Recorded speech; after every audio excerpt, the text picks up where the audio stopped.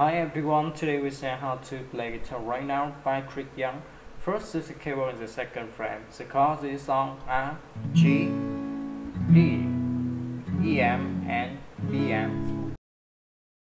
The front and outro to play down, down, up, up, down, down, down, down, up, up, down, down, down, up, up, down, up, and to play long D.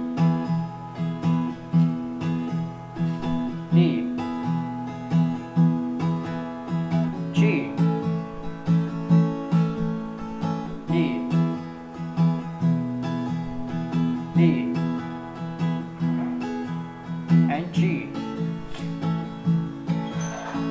And As his instrument the same way for track to the pre-chorus to play down